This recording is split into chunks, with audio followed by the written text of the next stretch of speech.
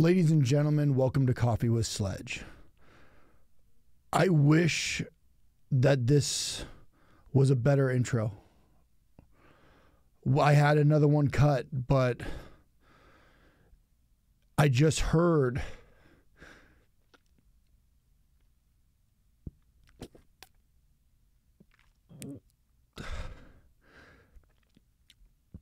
that Stephan Bonnar has passed.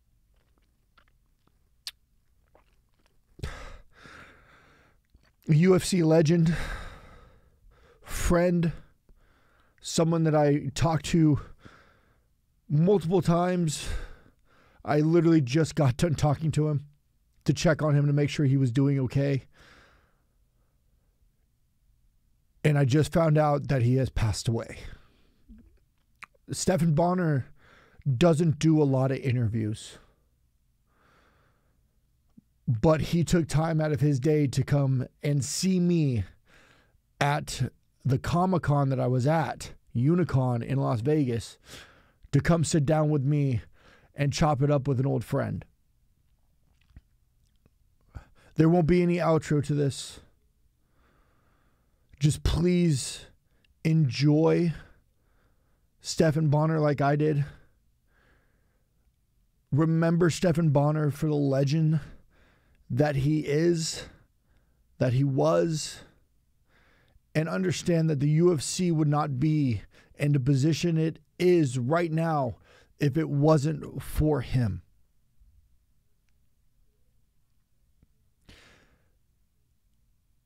Rest easy, my friend. This is one of the hardest things to do.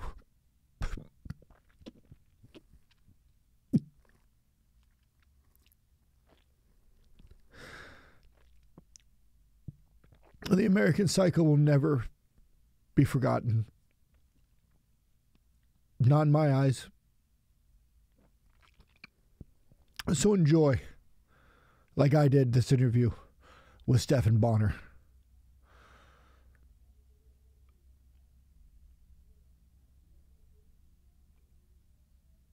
And rest easy, my friend.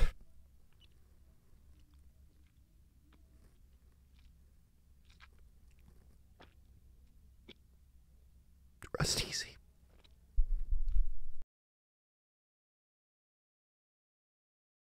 So Mike's on. Mike's on. We're live. Good to go. All right. Hey, buddy. What's up, Sledge, man? it's been a long time. Man. I know. We It's been- wrestled what has it together at Ugwa. Ugwa. Mm-hmm. Yeah, man. And that was, uh, Was it two years ago? I think, uh, two or three years ago, and um, yeah, I remember it was one of my uh, earlier matches. Yeah. Uh, because I. I was still having a lot of trouble uh, remembering the match at that time. I got a lot better at, uh, Yeah, of yeah. course, but yeah, and that was a three-way with uh, Dave Dutra. so there's a lot of Dave. moving parts. Yeah, it was good too. I think we had them from Jump Street. I mean, you came out. You came out to that music, man. You were.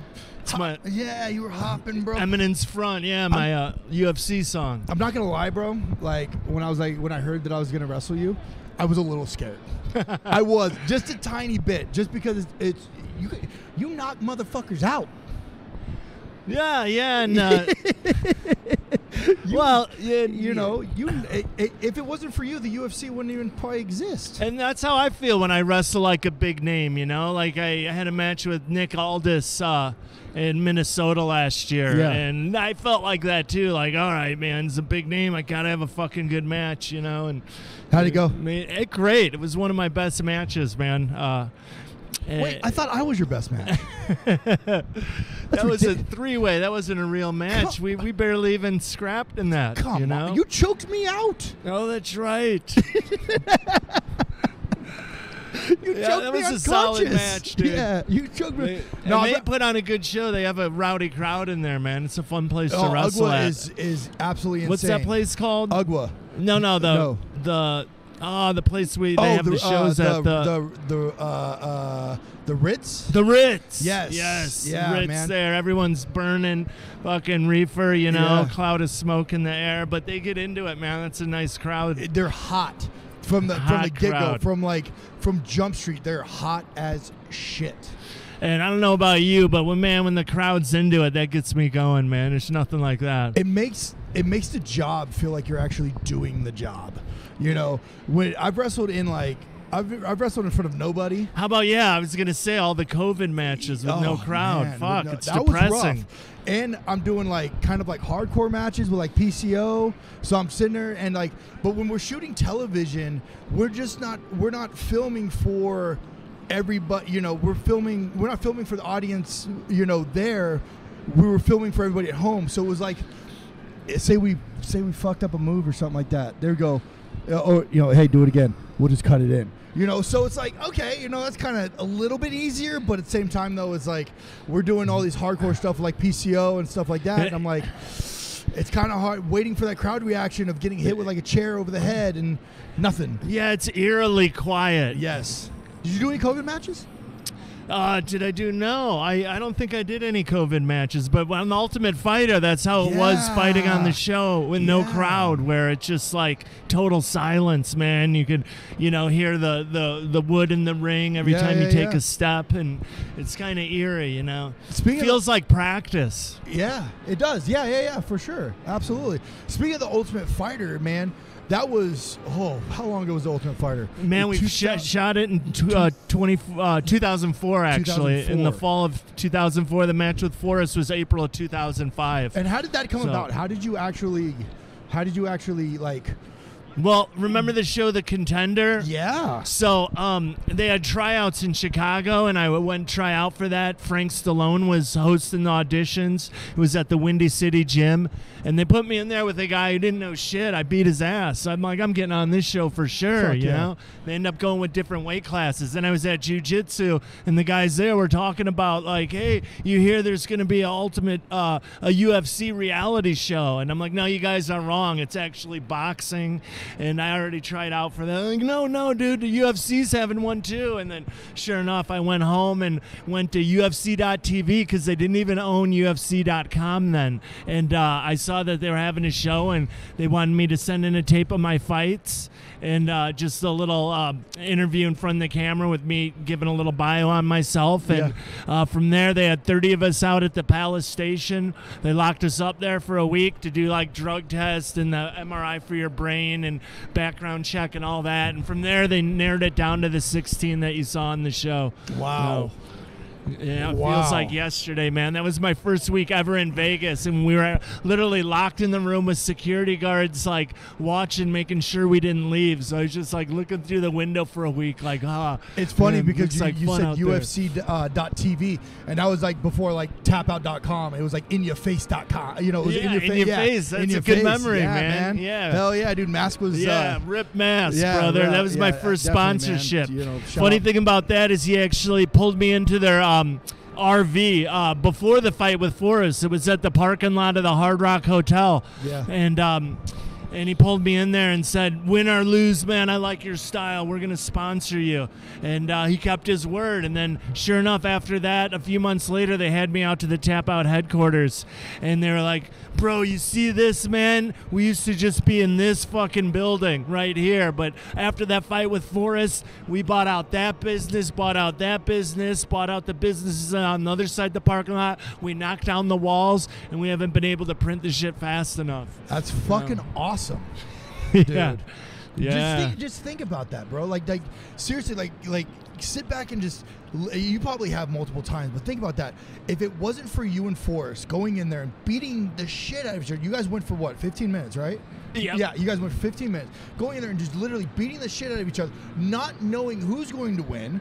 At the end, no one knew who was going to win, right? The place is going absolutely fucking bazonkers. You know what I'm saying? And if it wasn't for because I, if I'm not mistaken, Dana funded that. The, the Fertitta brothers funded that whole thing themselves. Yeah. it was a. It was a. It was hey, we're gonna make or break this thing. Yeah, right? usually the Yeah. network pays to do the show, and then Right. they get money from sponsorships. But the UFC had to say, "Hey, we'll cough up the two million dollars to do the show. Just let us have a shot on TV." And that was like their last hail mary attempt to save the company because they were done. Yeah, they were they're- sixty-two million in the hole. And like my whole life, I've been a martial arts nerd, man. I just love the martial arts. I wanted to learn them all, and uh, none of my friends really um, caught on. Never, they didn't like it as much as me, man. And I'd bring the VHS tapes to the UFC to parties, and I'd force people to watch it. And and I'm like, man, this sport's so cool. Like, why don't you guys love it the way I do? So so just to be part of the the reason that the sport got over, man, and you know, to be part of the history of martial arts is like a dream come true. Yeah, dude. know? Like that's fucking cool, dude. And like, I my question to you is before it was, you know, before you got into the UFC, you were doing like kind of like what pro wrestling, like the indies, right? Like you were taking like these Yeah. fights in casinos. I was the Ironheart Crown champion, Ironheart, and that's where I got started. It was in Hammond, Indiana. That's where I was born, and I grew up in Munster, Indiana. So nothing motivates you more than not wanting to get your ass kicked in front of all your friends you grew up with, man. Yeah, in front of your brothers, in front of their friends. My dad was there with buddies from work. I'm like, oh, I can't. Be. It was a four-man tournament, but I trained my ass off because I'm like, man, I don't want to get my ass beat in front of everyone, you know. And uh, yeah, I ended up winning those two fights, and then the, you know my career took off from there. But that was it, man. That was pre-athletic commission. I watched Terry Martin fucking put two rolls of just pure tape on each hand. It's like he had casts on his hand. Yeah. And uh, you know, and I fucking fought him a few months later. I'm sure he did the same thing for me. We had a good fight. I won, and uh, we did 10 minute rounds, man. And that was, uh, yeah, that's a bitch. 10 minute rounds are a bitch, dude. That's man. insane. Ten minute rounds. They're like Pride. That's what yeah, Pride yeah, used yeah, to do. Yeah. yeah. Dude. Pride was I was I was huge in mixed martial arts, and one of my like closest best friends is Jason Von Flue. Right. All right, the. Von Flue The Von choke, Flue man. choke. Yes, sir. Made that thing famous. That's a yes, great move, man. From when he uh, So- choked Alex Karalexis Alex. Karalexis. Yep. When the guy goes guillotine and you jump to the side, Side control, yep. ISIL grip, man, it's right there. push that fucking bi- that that upper bicep right into or right into that carotid yeah, the guy kind of puts Guy- himself in yeah. it here, you Yep. know. Yeah. So yeah, man. Um, and I've done a couple, you know, smokers here and there. You know, I, I fought, Okay. yeah, yeah, yeah. Um, just wasn't for me, man. Like I don't know, there's something about getting punched in the face that just doesn't. I'm kind of gorgeous to a point, you know. You you get sick of it, you know. Yeah. When you're young and hungry, like you don't mind it so much. But by the by the end of it, after like 14 years of it, I'm like, I know, I'm 14 like, years. uh, you know, just getting hit in the head on a regular basis. I'm like, man, I'm gonna be a fucking watch walking dementia case in a few years if I don't cool this, you know. And I had something actually show up on my MRI that didn't used to be there. I was gonna Um, ask you about was, that. It's um uh, indicator for CT. It's called cavum septum pellucidum, and Yeah. uh, it's actually in Rocky Four. That's the reason he had to retire because that showed up on his MRI. So that kind of scared me and was like, yeah, you know, it might be time to you know just stop getting hit in the head, you know, because you get old, you slow down a little, and I was never fast to begin with. So the shots you used to be able to get out of the way of now all of a sudden are catching you, and uh, it's not a good feeling. No, not. I mean, y- you guys are hitting each other with four ounce gloves with with fucking Yeah, and with- even with- in the with- gym, you're yeah. sparring with all these studs, and they're Yeah. wearing 16s, but still yeah. getting fucking crack with Gilbert Yvel's right hand, or Vitor, or Vanderlei, Yeah. man. Yeah, that shit's not good for you. Are you still rolling around a little bit? Just kind of stay loose. Yeah, I mean, I taught a seminar with Forrest last month. That was my yeah. first time uh, on the mats in a while since my injury, and that, yeah. So I'll get on, I'll teach a little, I'll roll around, um, but yeah, just uh, jujitsu, you don't get hit. It's not as dangerous uh, in terms of uh, head trauma, uh, but. Yeah, I'm, I'm. You know, I'll touch spar a little bit, but uh, that's about it. No more helping like fucking uh, big, strong guys get ready for fights, or like Cheaty and Chokawani, You know, I used Yeah. to train with him. He uh, was my sparring partner for Anderson Silva. That dude could crack. He could hit hard. So I go in the gym. Oh, you want to give GD some work? Uh, no. Nah, yeah, better uh, not. today. Wanna get Not- cracked with that uh, punch, you know? uh, can I think about it for a second? uh, no, I'm good. Thanks. You know, but yeah, man, that's dude. The UFC and it, like like I said, man, the UFC like would not be what it is today if it wasn't for you or Forrest. You know, I I I was at home watching that. you know. And now like it's crazy that I call you a friend, which is absolutely insane. Yeah, you we know?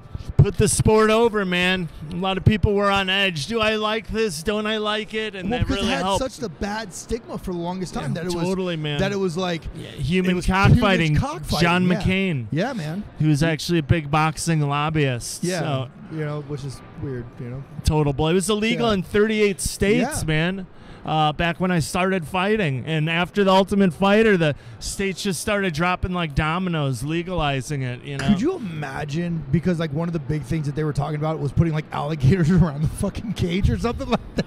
Could you imagine trying to fight and like trying to legalize that with alligators around the fucking Man, cage or something? I've seen some crazy shit. Um, you know, you see that Russian promotion where it's team fighting in the Yeah. triangular Yeah, uh, yeah, yeah. ring. That's fucking crazy. I've dude. seen the fucking where they it's arm wrestling and then Oh, they, and they- they- and then they're fucking hitting each other in the face with your other arm, trying to win over the. I'm like, what are you doing? or that that um, sport where they slap each other, but you just gotta sit there You and take it. fucking eat it. Your face out and just fucking take it, man. Like, I love watching it, but man, that is You did, and then, fucking and then they, stupid. they get hit, right? The guys that get slapped, they go, and then they, they have the guys behind them like, f- like fucking catch them. They're like, "Are you okay?" You're like, "Yeah, I think They're I- obviously Yeah, concussed a obviously little. and concussed a little shake bit. it out. Yeah, and then, yeah, okay, time yeah, for another we're- one. We're good. We're I'm good. ready. Yeah, we're ready. Fuck. And the guy who wins, dude, he's got these fucking Meat fingers hooks. that are like bananas. Yeah, just dude. These big paws, man. And yeah, big old neck. Like, man, I would not want to get fucking slapped by that dude. Fuck no, dude. Hell, if somebody was like, "Yo, can we slap box?" I'm like, "No." I'm like, I'm a, I'm a pro That's- wrestler. Like, in pro wrestling, yeah, like the thing I hate, one of the things I hate the most are the fucking slaps to the chest. you hate getting chopped. I hate getting chopped. I'm like, just fucking punch me. Fuck the chops, man. That's Give like me my- a chair shot. That's my go-to, man. Is like chop forearm, chop forearm, man. That's my that's my go-to. I don't think Then I you got the handprints Yeah, all over your man. chest and You shit. can wear like badge of honor, kinda like stings. cauliflower ear. Yeah, I could see it. You know, You don't I'm have one any of- cauliflower ear. A little, bit, here, yeah. yeah, yeah, yeah. Notice But. I stayed on top of draining it, you know. Oh, okay. So when it blows up like that, um, and you crack your cartilage, Yeah. like you don't have cauliflower yet. It looks like it. It's all filled with blood. But if you keep getting hit, then that calcifies and dries. Then you have Right. cauliflower ear. But if you like, you gotta. It sucks training for a fight, and you've got some cracked cartilage, and you literally on a daily basis you gotta fucking drain that air. And I remember like, you know, um, before one of my last fights, say I'm so sick of draining my ear, I'm just gonna let it go, and I'm like, oh fuck, dude, I've been doing this 13 years, and like I don't have cauliflower, man. Fuck, all I gotta do is another month of draining my ear, otherwise I'll have it forever. Fuck it, and I'd stick the needle in. And, Uh, and you would do it yourself. You stick yeah, needle- yeah, I got Ah. pretty good at it. Yeah? One-handed. You got to like squeeze with this hand and fucking draw this syringe back with this one. And my, I did it better than my doctor. My doctor, fucking had. Oh, you need to use a. That's thick blood. You need a big fucking 18 gauge needle. You know, That's like a big ass uh, cannon of a needle. Yeah. Big puncture, and I'm like, no, dude. Like, fucking, I do it by myself. I could use an insulin syringe, like a 28 gauge, Yeah, and yeah, fucking like fill that syringe up, no problem. That's insane. You man. get good at it, man. So, you, what made you get into pro wrestling though? Because that's where I met you was through pro wrestling. Yeah, I always I saw that you were doing it on like I followed your stuff and I was like, Stephan Bonnar's getting into pro wrestling. I know a lot of MMA guys that are made the transition over into professional wrestling, like Riddle. Uh, Riddle, I think, is probably what, uh, and uh, uh, uh, Shayna Baszler. I knew Shayna on the Indies before she was signed with WWE. Same with Riddle. Uh, what made you go that route into professional wrestling? I mean, as a little kid, like uh, I, you know, in school when uh, you're in fifth grade, they ask what you want to do when you grow up. I wanted to be a pro wrestler. Oh yeah. So what I, were your I favorites always when you were growing up? my what? What were some of your favorites growing up? Oh man, my dad would take me to the Rosemont Horizon in Chicago, and we'd see fucking uh, who was that? Hogan and uh, King Kong Bundy. Um, oh, the the Beefcake and Valentine, the Dream Team. They had Yeah. that feud with the Bulldogs. Those were some good matches. I remember I met um, uh, Ricky Steamboat. I shook his hand. That was like wow, uh, dream come true there. Um, yeah, who else, man? Don Muraco. Uh, of course, the Ultimate Warrior, just because he was so jacked and he was Just jacked fucking military pressing 300 pounders Fuck. over his head, dude. And no, the Road Warriors, man. Shout out, Hawk Animal. Shout out Warrior right here on my shirt. Let's go. Oh, hell yeah. Yeah, dude. Hell yeah, dude. And his- shout, out to fucking uh, Animal. He just died last year, Yeah, man. dude. I got yeah. to meet him. Uh, I wrestled on a few shows. He helped work, man. But that was pretty cool. He let me wear shoulder pads. That's fucking cool. Yeah, and like I remember him. He was like 275, and I'm like, "How about when you wrestled? How much did he weigh?" He's like 330. I'm holy shit. Yeah, dude, him and Hawk were big, and they Oh, were man. brutes, bro. Like That- you would hear fucking stories about them literally beating the shit out of people.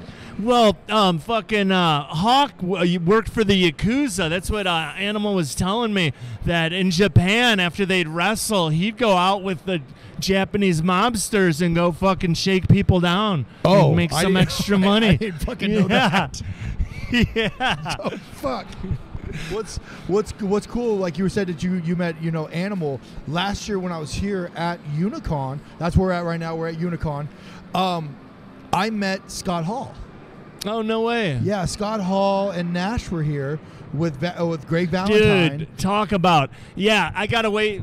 Like I was telling you back in the '80s and shit was really into wrestling. I got away from it, but then I worked at Roadway after uh, I graduated high school in '95, and in the late '90s, that's where the NWO came on. Yeah. and then there's some guys at work that were fucking, oh, you gotta watch this, and they got me back into it. And I'm telling you, dude, fucking uh, Scott Hall and Kevin Nash, NWO, dude, man, that was such a good gimmick. Like, talk about just taking over the whole sport, man. Like they they had the Monday Night Wars. Hell and yeah. they fucked shit up, Oh, dude. hell yeah. Like they they had everyone thinking it was real. I remember Cody Rhodes telling me a story about how he um they they fucking um uh they jumped the NWO came in and jumped um this is a little Mexican guy that does the 609 Uh, Six one nine Rey Mysterio. yeah, Mysterio. Yeah. They fucked him up, and then Dusty Rhodes told Cody, like, "Oh yeah, Mysterio's in the hospital. He's got a uh, fractured neck and all this." And Cody was like buying it, hook, line, and sinker. Like, no way, This fucking- working They him. need to be arrested, dude. He totally was working his own Straight kid, working dude. his kid. But they, dude, everyone classic. bought that shit, man. Like it was real. I also loved um, one of my favorites is uh, Brian Pillman, Yeah. and he's he's another guy who fucking loose worked cannon. the boys. Yeah, dude. He used And to. work Yeah. He had everyone thinking he was fucking nuts, and he was a little nuts. Well, now his son's out there. You Yeah, Pillman Brian Jr., yeah. man. I've and, worked a uh, couple shows with him to, on I it. got to. Uh, uh, I got to work with him at Northeast Wrestling out in Connecticut. You ever worked for Northeast? no, I have. I worked for um, uh, what was that? Uh, House of Glory. Oh yeah, yeah, yeah. HOF. Yeah, yeah. Isn't Out that, in New York. isn't that a uh, that's Red's pro- promotion, right? Yeah. Yeah, yeah, Amazing That was my first match. I was supposed to um, fight Riddle on that, but he pulled out like the day of. And uh, Sho Tanaka, Ring of Honor guy, Yeah, yeah. used to the, you wrestle for you guys. That's who I end up wrestling, and uh, that was my first. Sorry, that was my first match, and it was a good one, man. And who who trained you in pro wrestling? I train over at um, uh, FSW here in Vegas. Oh, you did. Okay, you So. Yeah, my, yeah. my first trainer, uh, Disco Inferno. So I give Oh. Disco a shout out, and yeah, he really worked with me, man. Just the basics and learning how to sell. You know, that's where it's at. That's that's that's the key, and that's what I, I believe like is lost in the world of pro wrestling right now is actually selling. You know, I if you could do a good sell job, you don't really have to do fuck all. you don't gotta take nearly as many bumps, dude. Yeah, learn from Ric Flair. You yeah. know. Yeah. Yeah. Fucking Yeah, you see guys bump, bump, bump, bump, and they're not selling. They end up taking like fucking 20 bumps in a match because they're not selling. you I've know? never taken a Canadian destroyer, and I don't plan on taking one. Oh my god, dude, that's the stupidest move ever. You like actually have to fucking do a backflip and land on your head. Yeah. Like it's yeah, no way. I remember uh, I was wrestling a guy. I'm not going to mention his name. Um, he dropped me on my neck. He did a hangman. Oh, he did a hangman tombstone, and um, it was on a low boy ring, kind of like what we wrestled at Ugwa. And uh, he didn't he didn't put his knees up, so my shoulders didn't catch. He went flat butt, and my head wham. And on those low boy rings, there's Oh. no give. And that was the day before I flew to England to start a tour, Oh man. and I thought I broke my neck. Dude, that's the thing about pro wrestling that people don't understand. You are putting your Preach it. life into someone else's hands, your Preach it. health. Yeah, dude, you, you gotta really trust people with your body, man. And like most of the injuries are about guys botching a move and not dropping you right, you know? Yeah. and it's, it's there's a lot of trust involved and it's it's not a good feeling that's the thing about mma you're in charge of protecting yourself but now gotta fucking give yourself over to someone else and just pray that they're uh you know good with you and drop you right Yeah, yeah, to take look- care of you. yeah look Yeah. at um man stone cold i mean he fucking uh broke his neck. booker t yeah yeah, he broke his neck when Owen dropped him on his neck. owen owen owen yep Mhm. yep uh, he uh, hit him with the tombstone, a sit out tombstone, and uh, his head was too low. So when he hit, his neck actually spiked. He actually spiked him into the mat, and then shot. And uh, I think he broke like uh, like two vertebrae in his neck. I was on uh, Steve Austin's podcast. Me Uh, too. Were you really? Yeah, oh, I fuck did it yeah, a few dude. years Yeah, I did it. I did. it. That was like what helped launch me into the Indies. oh awesome Yeah, was being on his podcast. Which shout out Steve Austin, man. What? You know, I still talk to him today.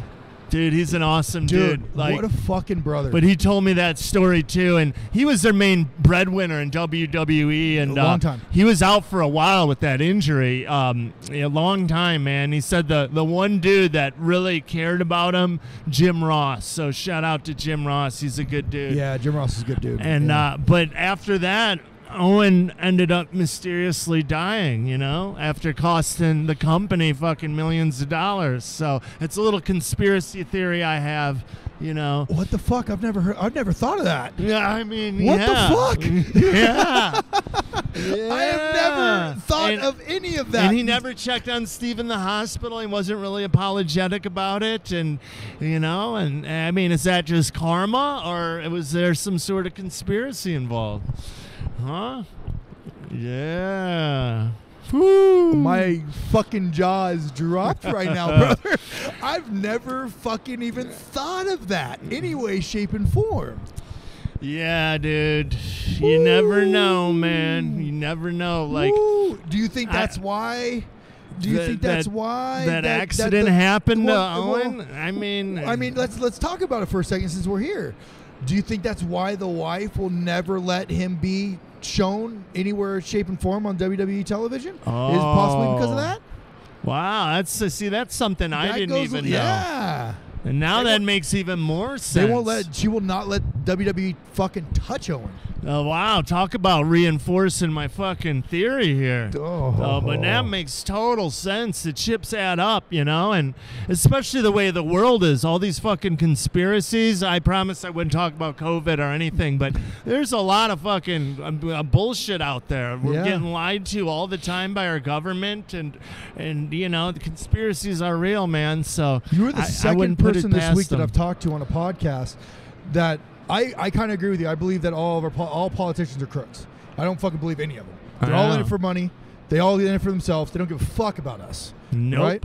You know, and you were the second person to agree with me on that. So I bet you there's more of us. Yeah, everyone's bought and paid for, man. Everyone's a shill. And then I hear like, uh, who's that basketball player recently who um, he posted like an Alex Jones story, and um, fuck, who was that?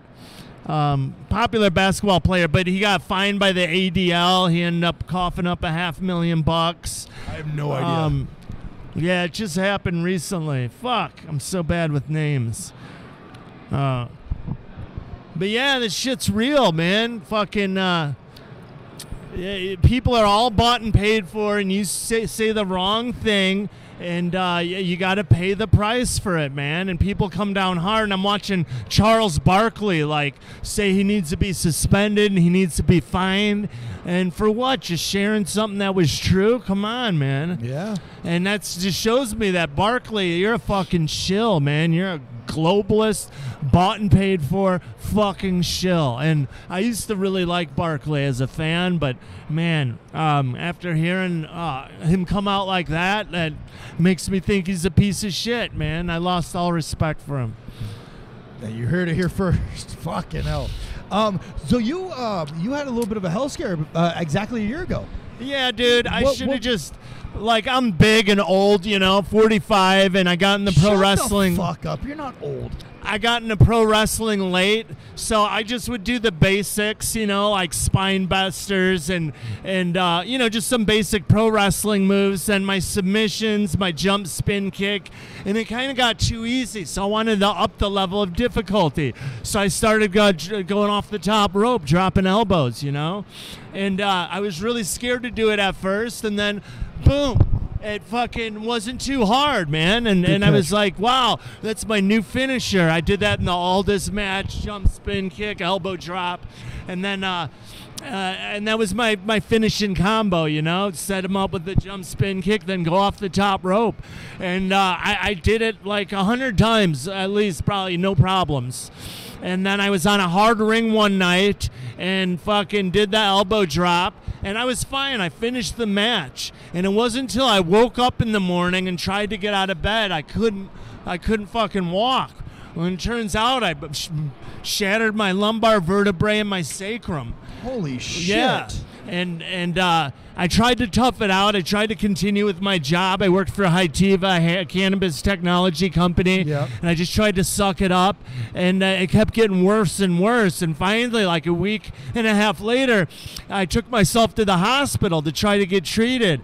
And the fucking doctor turned me away and ended up throwing me out of there. And Yeah, that's that- what that's I. it. Yeah, that's really interesting. What- what I was talking about when he asked me if I had been uh, vaccinated, and I said, "Hell no!" And then he's like, "Okay, wait over there," and I wait for hours. I'm on crutches in pain, and I'm watching all these people who came in after me go in, and finally, I'm like, "Dude, are you gonna see me?" He's like, "I did see you." I'm like, "Are you gonna treat me?" And he's like, I did treat you. Then I fucking lost it on him. And uh, I went off on him. And then he called the security over there and they started throwing me out. And I'm like, I'm fine. I'm just going to go. And I'm like crutching myself towards the door. And when the security guards pushed me and my crutch went out and I fucking planted my knee, I'd been hobbling around on one leg for 10 days. So, and I got a bad knee anyway. And I fucking tried to plant and my knee popped. I ended up popping my ACL and I went down. And I got up and they were all around me, security guards, and I just swung my crutch at them like twice. Like, get the fuck away from me. I'm like, I'm in, I'm really hurt, and you guys are gonna fucking like tackle me. That's what I thought. If they tackle, me, I would have died, man. I was like in so much pain, and I'm like, holy shit, they're gonna shoot me. So I scurried in the bathroom and locked the door. And then I busted out my phone. I got to, like, they're going to tackle me. I got to record this. I'm course. just going to try to get the fuck out of here. So I did. I got out and I had my phone on. You can't record. You can't. Re- I'm just going. You know. I'm just getting out of here. And I go outside. The cops are there. And I did the same thing with the cops. Like, dude, I'm just trying to go. I'm just trying to get my car and go. I want your word that you're not going to pull me over, man. I just came here for treatment. And they're like, we're not going to pull you over. Great. And by the time I got home, you know, I posted it right. And uh, my boss at work, the owner of the company, is like, pull that video down. No problem. I go to pull it down and I can't get on my Instagram. It's all blank, my page. And I thought I was toast. I thought they kicked me off indefinitely. But it turned out I had a six month suspension. But they left that video up. I couldn't pull it down, so that video got more views than any other video I ever had. Of course, it didn't look good, you know, and uh, ended up being out of work for like uh, four months. Uh, oh, yeah, a few days later, I finally went to the hospital again, another emergency room, and. Um, they uh, took my blood and they could tell from like my blood values that I was uh, fucking had a terrible staph infection.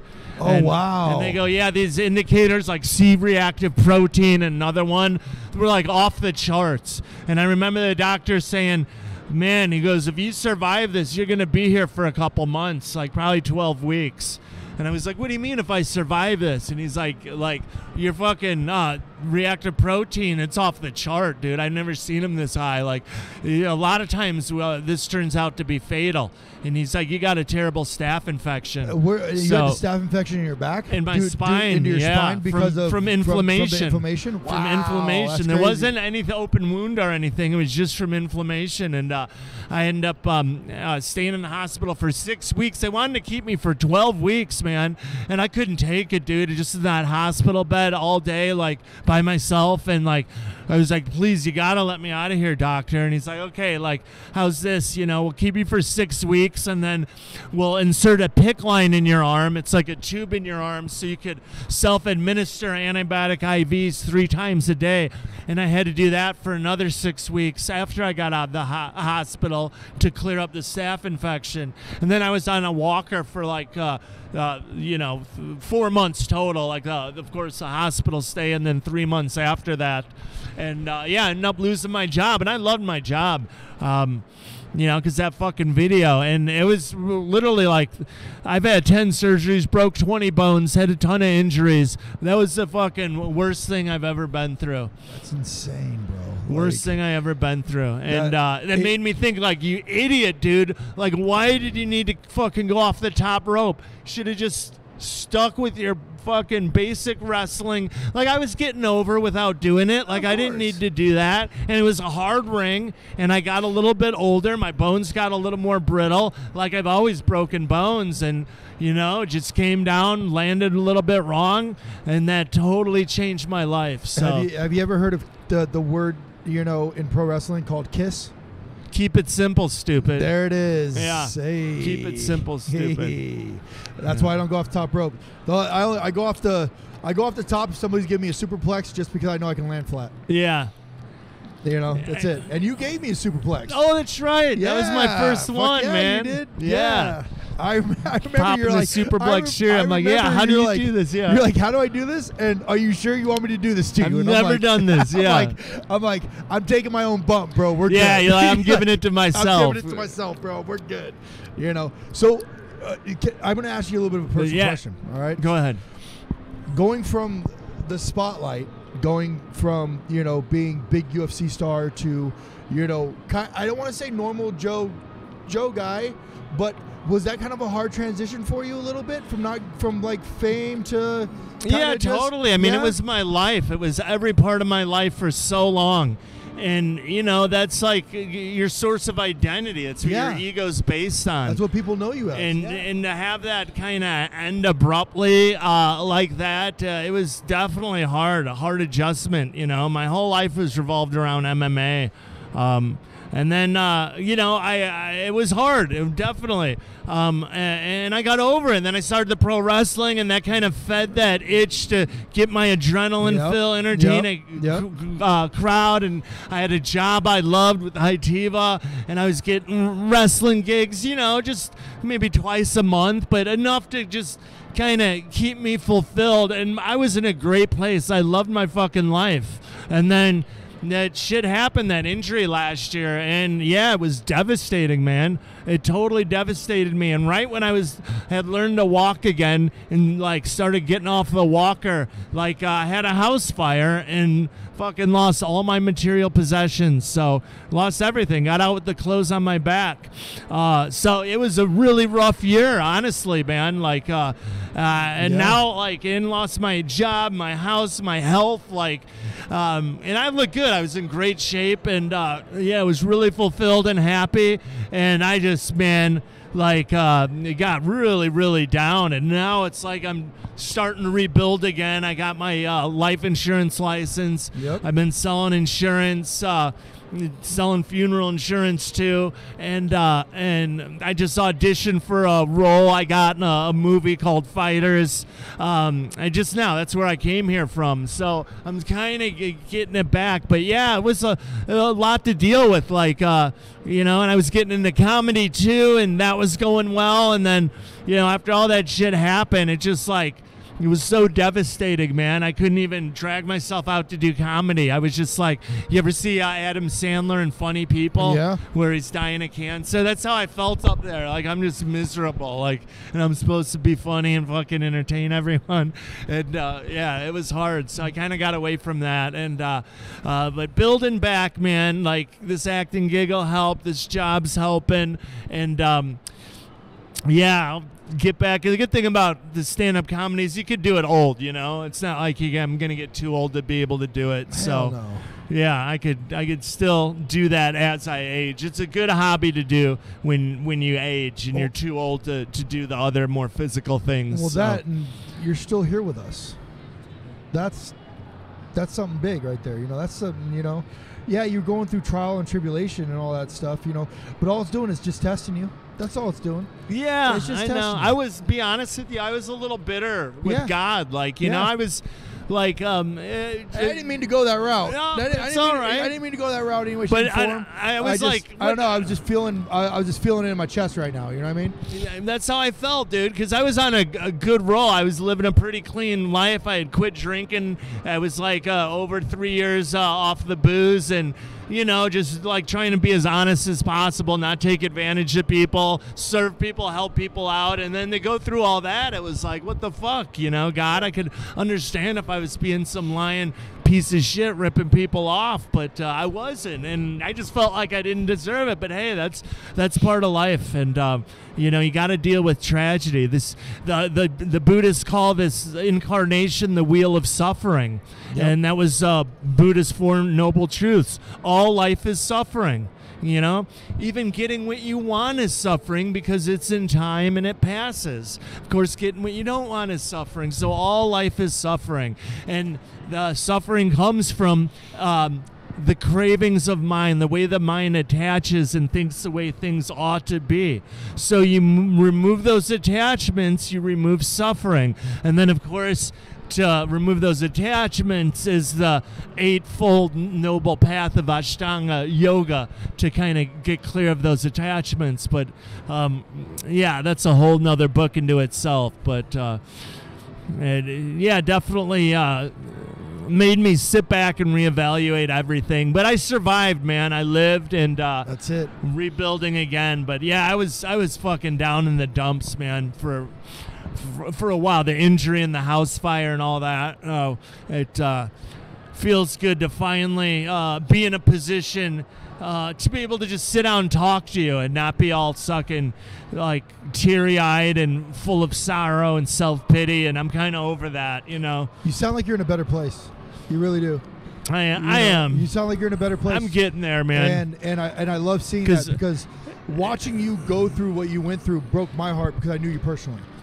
Yeah, and it was like that. Like uh, giving up the fighting was a really hard thing, and I felt like I had, you know, I went through a bad time and a lot of drinking, and got the DUI that made TMZ and all that, and just so a lot of personal shit. And I finally like had gotten over that and had a job I loved and uh, digging the wrestling, having fun with it. I felt young again and inspired and vibrant, and was doing this stand-up comedy, and just felt like I was in such a good place. And then the rug got pulled out from under me, and boom, uh, crashed pretty hard. And uh, yeah, and like now uh, to be healthy again, to be able to walk. Uh, and without a walker assisted and be able to go just you know I was, I was so thankful just to go to the gym and lift a little bit Yeah. man like that was such a big deal uh, yeah, yeah, just to like exercise and you know, get back on my uh, routine, doing my yoga every morning, and I do. Uh, How's the body holding up? It's a it's a mess, you know. I, I need a new ACL and a knee replacement. Um, that's the main problem, but the back is healed a lot. Good. I, I don't feel like I'm gonna be going off the top rope anytime soon. Well, that's soon. good. That's good. know? Let's let's try to keep the feet on the ground. Yeah, I'll be, you know, the bumps too, man. I'll be fucking taking simple bumps, just landing flat on my back. Wait, are you telling me you're still you, you still want to get back in there? You still want oh, to wrestle? sure. You never retire from pro Fuck wrestling. yeah. let's go. I'm gonna get back in there. Let's But, go. yeah, You know what? I want a one-on-one with you. Oh yeah, let's yeah, have a match, fuck yeah, dude. Let's do that. Let's, Yeah. uh, let's set it up. I don't know how we'll set it up. Uh, you know what? We'll set it up. We got it. I got it. Right. I, I Yeah, literally dude. just thought about it right now. I was like, we can make this happen. You, You know, know. what else sucked to take? And I took one of them, and I'm like, no more. And I took it right on the edge of the ring, not in the center. A fucking choke slam. That I yeah don't. You don't have to worry about that with me. yeah. Yeah, so. No, no. Wait, you, you do. All you have to worry about is getting chopped in the chest. Yeah, you could power slam me, fucking spine bust me, body slam me. Just don't chop you in the chest. no chest chops. no no chest chops. Ah, You gotta fuck give me that. a couple. Fuck that. Just Fuck that. hit me over the head with a chair. That's awesome, man. That's aw- last question for you, man. Um, how does it feel, man, to know that a guy that you literally beat the shit out of, and he beat the shit out of you, Forrest, is your best friend. Oh, Forrest. Yeah. Yeah, How is that? dude. How like that's fucking cool. Yeah, we always got along really well, honestly. Like, he was my kind of guy. He didn't take himself too seriously. He's like the opposite of Tito, who's all about themselves and their image and just so self absorbed and egotistical. And he's kind of self deprecating and has that same sick sense of humor. So, me and him always clicked really well. And uh, yeah, and I I did a podcast recently, and he was my first guest. We had a good episode, and uh, unfortunately, it was this this beautiful gym. Um, they had these boxing managers running the place, Yeah. and they had a beautiful studio in there. And then the guy funding the whole operation uh, mysteriously died. They just found him hanging in his house. So Wow. a lot of people don't think it was ruled a suicide, but it it sounds like he was suicided, if you know what I mean. So uh, that kind of put a damper on the Do we have podcast. an- another Owen? Another. Could have another Hart. Fuck. Yeah. Shit's Conspiracy, man. Yeah, you Shit's always when a guy gets found uh, like a leather strap hanging in his house, like from a doorpost, that's that's a sign that he probably didn't do it himself. The old fucking Jeffrey Epstein, you know. Oh man. Yeah. And did you see that gorilla that was Epstein's cellmate?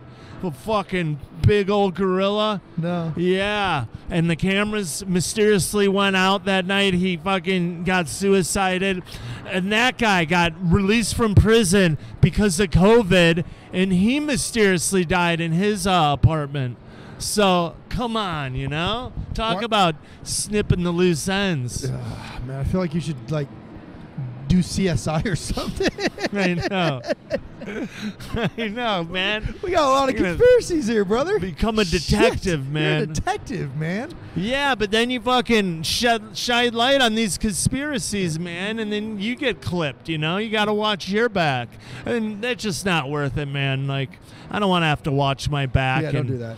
You I don't- know, don't- I- worry about getting clipped. No. They have that heart attack gun now too. That you go up to someone and just hit them with the heart attack gun, and it causes a heart Is that, attack. the, is that the Bruce Lee gimmick? Yeah, the one inch punch. yeah. Boom. Boom. No, You the? CIA has a heart attack gun. Yeah, and you go around giving people heart attacks, and that's A what I heart- think. Wait, a heart attack gun? Gun, heart attack gun. What is that? yeah, Isn't that a fucking It, taser? it sends like a. a I I don't know the exact um, physics of it, but it's called the heart attack gun, and the CIA's had it for a long time, and that's what I think happened to Epstein's cellmate because he mysteriously died at home of a heart attack, and you know if you want to.